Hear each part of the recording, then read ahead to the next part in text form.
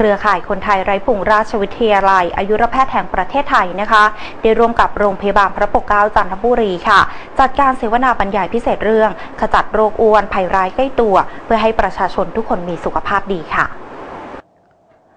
เช้านี้ที่ห้องประชุมรำไพพันนีอาคารประชาธิปกศักดิเดชโรงพยาบาลพระปกเกล้าจันทบุรี ได้มีการจัดการเสวนาบรรยายพิเศษเรื่อง ขจัดโรคอ้วนภัยร้ายใกล้ตัว ซึ่งเป็นการจัดร่วมกันระหว่างเครือข่ายคนไทยไร้พุงราชวิทยาลัยอายุรแพทย์แห่งประเทศไทยนำโดยศาสตราจารย์ในแพทย์เกรียงตั้งสง่าประธานราชวิทยาลัยอายุรแพทย์แห่งประเทศไทย ได้ร่วมกับโรงพยาบาลพระปกเกล้าจันทบุรี ซึ่งมีในแพทย์ปียพงษ์เพิ่มราบ รองผู้อำนวยการฝ่ายการแพทย์โรงพยาบาลพระปกเกล้าจันทบุรี เป็นประธานกล่าวเปิดการเสวนา บรรยายพิเศษเรื่อง ขจัดโรคอ้วนภัยร้ายใกล้ตัว ร้อมทั้งได้มีวิทยากรมาร่วมบรรยายให้ความรู้เกี่ยวกับภัยต่างๆ จากโรคอ้วน ซึ่งการจัดการบรรยายในครั้งนี้ ก็เพื่อให้บุคลากรสาธารณสุข รวมทั้งอาสาสมัครสาธารณสุข และประชาชนทั่วไป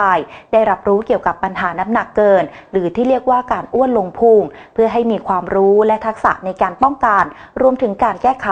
ด้วยการปรับเปลี่ยนพฤติกรรมการบริโภค และการออกกำลังกาย อย่างมีประสิทธิภาพอย่างยั่งยืน อีกทั้งสามารถนำความรู้ไปใช้ถ่ายทอดดให้กับเพื่อนร่วมงาน สมาชิกในครอบครัว และผู้ที่เกี่ยวข้อง เพื่อให้ทุกคนมีสุขภาพที่ดี แข็งแรง และเป็นสุขตลอดไปค่ะ